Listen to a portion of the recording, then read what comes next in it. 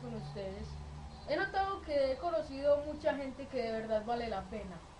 En este video que hice yo por medio de Adobe After Effects y Sony Vegas, quiero hacer una pequeña dedicación por a las tantas personas que he conocido por este medio.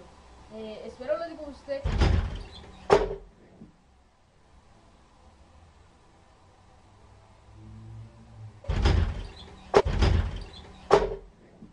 stick.